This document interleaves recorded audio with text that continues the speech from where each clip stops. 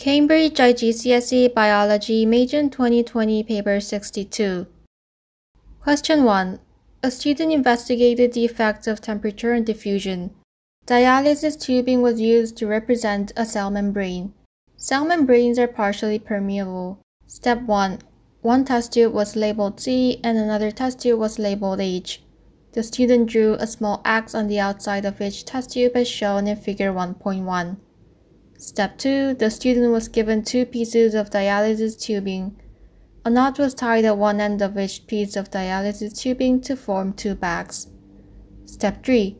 Starch suspension was put into each dialysis tubing bag until each bag was approximately 3 quarters full. Step 4. One of the dialysis tubing bags containing starch suspension was put into test tube C.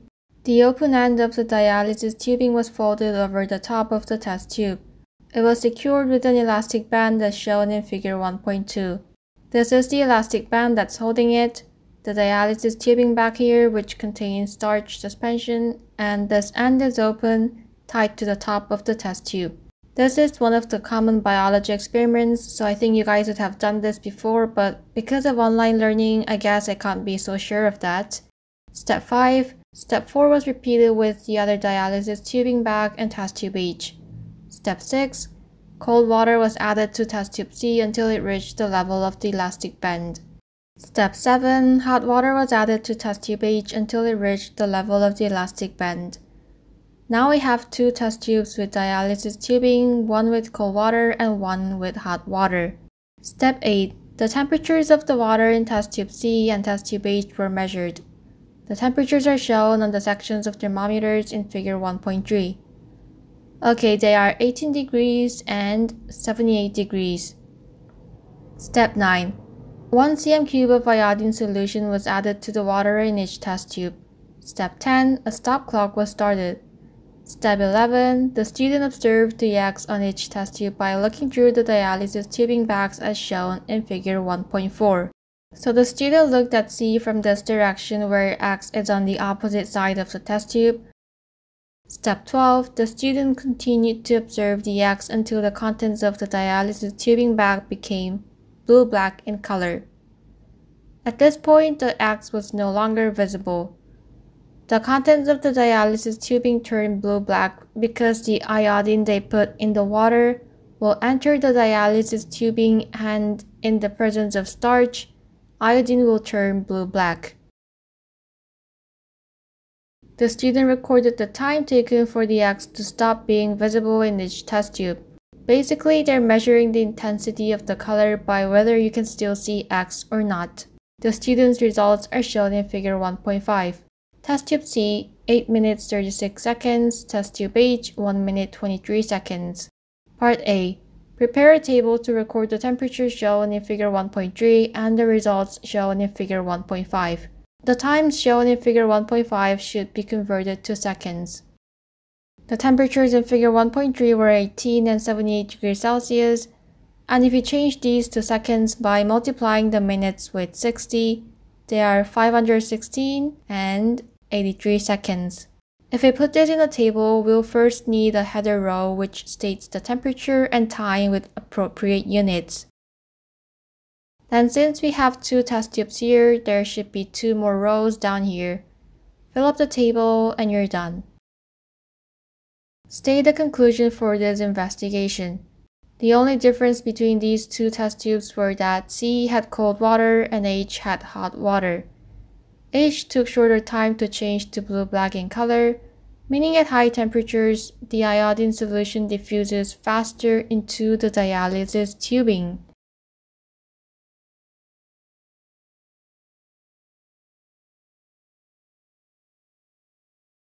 Identify the variable that was changed by the student independent variable in this investigation. Like I just said, the only difference was the temperature of the water, so the variable is the temperature. The student observed that the liquid inside the dialysis tubing bag turned blue-black in color during the investigation. The liquid in the test tube surrounding the dialysis tubing bag remained brown. State what can be concluded about the ability of the starch molecules to move through the dialysis tubing. State the evidence to support your conclusion. So inside the dialysis tubing, starch will turn blue-black as iodine has entered the tube. However, outside the dialysis tubing, it won't turn blue-black and they're asking why is that so? Well, it's because even though iodine can enter the dialysis tubing, starch cannot pass through the dialysis tubing to enter the water surrounding it. In the end, there will be only iodine solution in the water during the dialysis tubing, staying brown in color. This is the evidence the liquid around the bag remains brown. Identify one possible source of error in this investigation and suggest one additional piece of apparatus that could be used to reduce the effect of this error. These two are the most popular questions in paper 6 that will probably in your exam too. First, think about the variable of this experiment. Is the variable properly controlled? It's the temperature in this case and remember when we want to control the temperature, we always need to make sure that the temperature remains constant throughout the experiment. How do we do that? We use thermostatically controlled water bath. This answer is fixed temperature not being controlled throughout the experiment, and using thermostatically controlled water bath as a solution, so memorize this. Also, they said they measured the time taken for the cross to disappear, but how we know the exact moment it has disappeared? It's very ambiguous, so instead of using that method, it's better to compare with a color standard.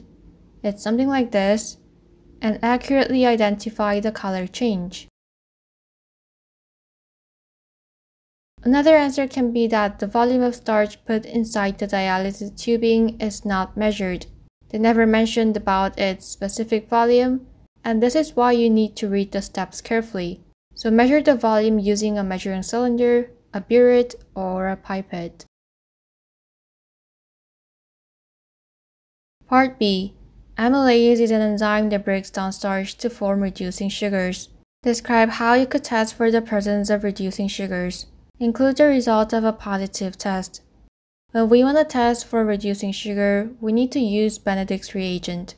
So add Benedict's reagent to the substance, heat it using water bath, and you'll see a color change. If reducing sugar is present, the color returned from blue to green, then yellow, then orange, then red, depending on its concentration. You just need to write one of these colors. Plan an investigation to determine the effect of different concentrations of amylase on the breakdown of starch.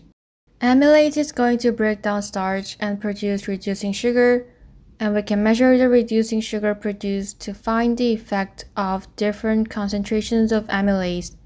There's a format to follow for these planning and investigation questions. First, you write the method of the experiment. Add Benedict's solution and heat the mixture using hot water bath to measure reducing sugar produced every 5 minutes. It doesn't have to be 5 minutes, you can choose your own time intervals as long as they make sense and are not like every 5 hours when the reaction would have probably ended. You can see that the method isn't very long. The maximum amount of marks you can get from method is 2 marks, so don't write a whole essay on it. Adding Benedict's reagent at time intervals is 1 mark, and using a hot water bath is another mark. Now, we need to control the independent variable. As mentioned in the question, we are varying the concentration of amylase, so write a way to do it. Add 1 mole per dm cube, 5 mole per dm cube, and 10 mole per dm cube of amylase in each test tube containing starch. Next are the variables that need to be kept constant. Firstly, the type of amylase that we use should be the same. Different amylase may have different speeds of breaking down starch. Then the concentration of starch should be kept constant. Be careful, the concentration of amylase should be different, but for starch, it should remain the same. Also, the temperature and pH should be constant throughout the experiment since enzymes like amylase are temperature and pH sensitive. Moving on, dependent variable. It's the one that we're going to measure and record the concentration of reducing sugar produced. This can be measured by observing the intensity of color. Lastly, include some ways to improve the experiment. Repeat the investigation two more times to make sure you haven't made an error in the first one. You can add a safety precaution as well. When using a hot water bath, wear goggles.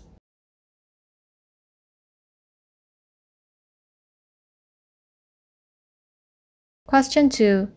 A student investigated the effect of different concentrations of sugar solution on osmosis in potato sticks.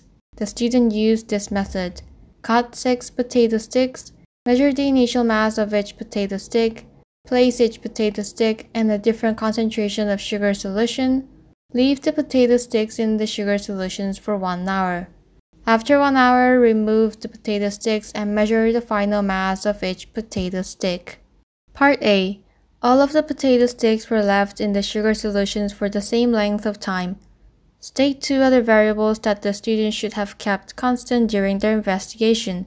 The mass was measured, so it's fine. Concentrations were varied. They were left for the same period of time. Well, when they cut potato sticks, they didn't specify the length or its size. The rate of osmosis is dependent on the surface area, so the size of potato sticks should be kept constant. Also, the type of potato should be the same since potatoes have quite a number of variations. Then they should keep the volume of sugar solution constant to carry out a fair test. Identify the variable that was measured dependent variable in this investigation. What did they say they measured? They measured the initial mass and the final mass. Part B the results of the investigation are shown in Table 2.1. Concentration of sugar solution from 0.0 to 1.0. Initial mass, final mass, and percentage change in mass. Calculate the percentage change in mass for the potato stick that was placed in the 0.8 mol per dm cube sugar solution. Give your answer to two decimal places. The formula to calculate percentage change is the final mass minus initial mass divided by the initial mass multiplied by 100. So it's 2.03 minus 2.08 divided by 2.08 times 100. The answer is negative 2.40 rounded to two decimal places. Plot a line graph on the grid to show the data in Table 2.1. One axis has been started for you. They have drawn the x-axis here, 0 starts from here. First, identify what are the x and y-axis. X-axis is the independent variable, so in this case, it's the concentration of sugar solution, and y-axis is the dependent variable, so it's the percentage change in mass. The concentration is from 0.0 to 1.0. And we have six big boxes here, so let's put one big box as 0.2.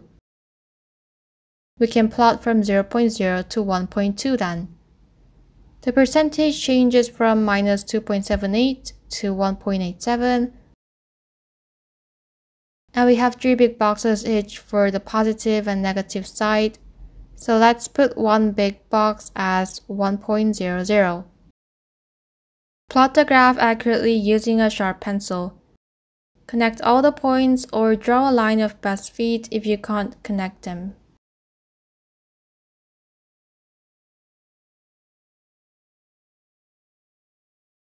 State the concentration of the sugar solution at which your graph shows there would be no change in the mass of the potato stick.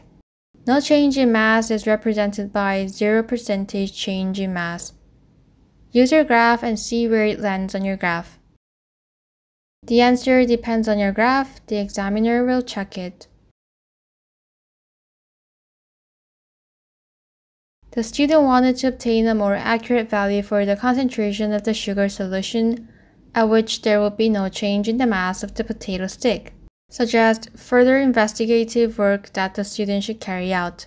The student can carry out the investigation again, this time using concentrations at smaller intervals. Since our point was here, the concentrations to be tested can be between 0.2 and 0.3 mole per dm cube.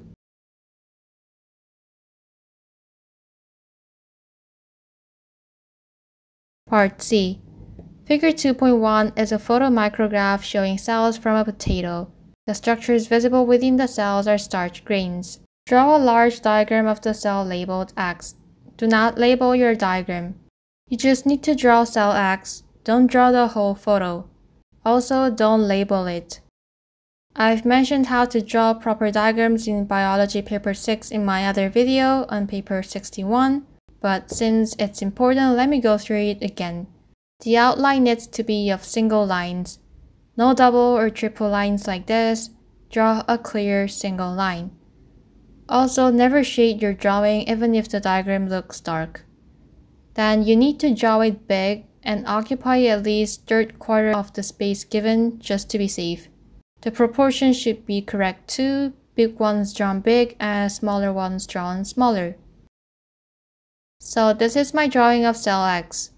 It's big enough. I've drawn 7 starch grains as shown in the photo. My lines are clear single lines and none of my drawing is shaded. Measure the length of line PQ on figure 2.1. Include the unit. Use your ruler to measure it. It should be around 45 millimeters. The unit must be in millimeters.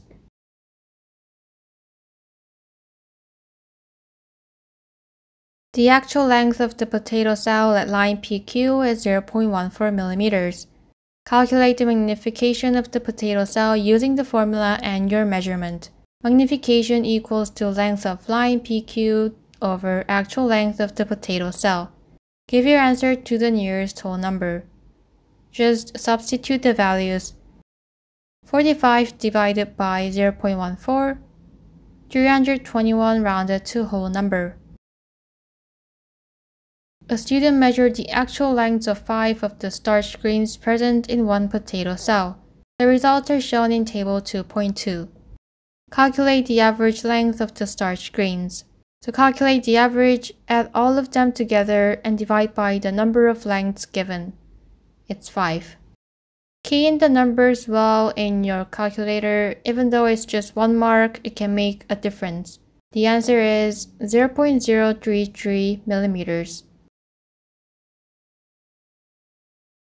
Part D. Potato cells release carbon dioxide during respiration. State the name of an indicator which could be used to test for the presence of carbon dioxide and give the results of a positive test. What do we use to test the presence of carbon dioxide?